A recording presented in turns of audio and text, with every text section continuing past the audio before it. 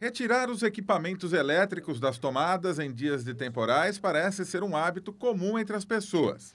Normalmente eu, eu faço isso, tipo geladeira, televisão, algumas coisas que eu sei que eu não vou estar em casa nesse horário, eu tiro. Costumo, tiro sim, tiro. Quais objetos que o senhor gosta, o senhor prefere? É, geladeira. Eu tiro tudo da tomada, desligo televisão, micro-ondas, enfim. Se tem é, telefone sem fio também eu faço a mesma coisa.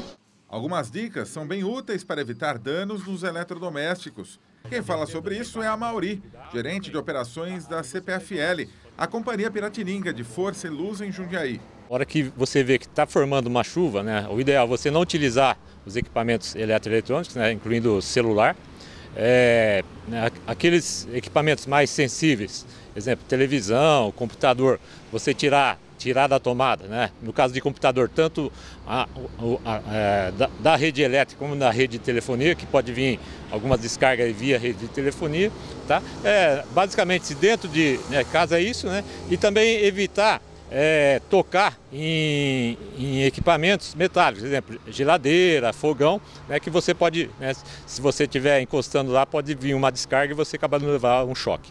A Mauri também orienta sobre os cuidados que devemos ter nos dias de chuva em áreas abertas, próximo de árvores e da rede elétrica. Você tem que evitar ficar perto de árvores, né, perto de, de postes, né, embaixo de, da, da, rede de telefonia. Né.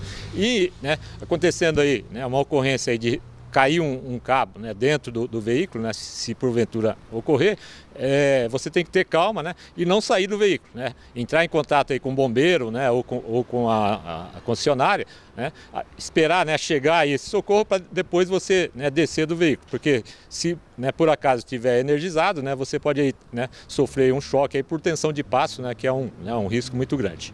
Em caso de emergência e falta de energia, a CPFL disponibiliza vários canais para que o cliente possa entrar em contato. Em casos de danos a equipamentos causados por descargas elétricas, a companhia também pode ser acionada.